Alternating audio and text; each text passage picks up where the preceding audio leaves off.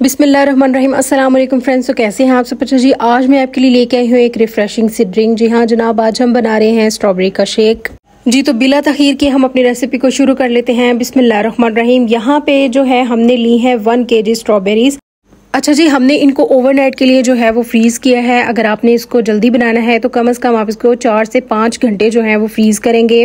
उससे ये है कि जो शेक है, वो बहुत ही ज़बरदस्त बनेगा और हमेशा से जो है, हमने फ्रेश का ही इस्तेमाल किया है।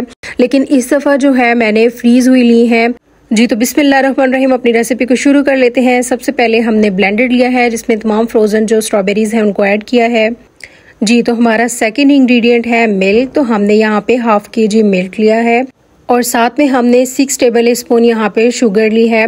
आप शुगर जो है वो कम ज़्यादा भी कर सकते हैं। फिल वक्त जितना हमने मिल्क और स्ट्रॉबेरीज ऐड की है ना, उसमें ये टेस्ट के हिसाब से बिल्कुल परफेक्ट है। और यहाँ पे हमने तकरीबन इसको एक मिनट तक अच्छे से ब्लेंड करना है, क्योंकि जो स्ट्रॉबेरीज हैं वो अच्छे से फ्रीज हुई हुई हैं तो फिर इस तरह से अच्छे से ब्लेंड हो जाएँगी। जी तो ये देखिए जनाब, मज़ेदार सा हमारा स्ट्रॉबेरी का शेक बिल्कुल रेडी है।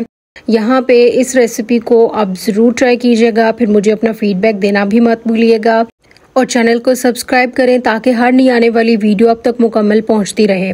तो जनाब, यहाँ पे जो है, हमने ग्लास में इसको पोर कर लिया है। अभी थोड़ा सा जो कोकोनट है, वो मैं इसके ऊपर स्प्रेड करूँगी। क्योंकि मुझे यहाँ गार्निश के हिसाब से ये परफेक्ट लगा है तो मैंने इसको इस तरह से गार्निश किया है। आप भी जब भी खाना बनाते हैं या कोई भी रेसिपी बनाते हैं तो उसकी अच्छे से गार्निश किया करें।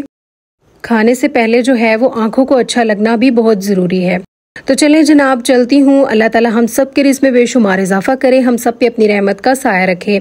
एक नई वीडियो, एक नई रेसिपी के साथ हाजिर होंगे। तब तक के लिए thanks for watching take care and Allah Hafiz.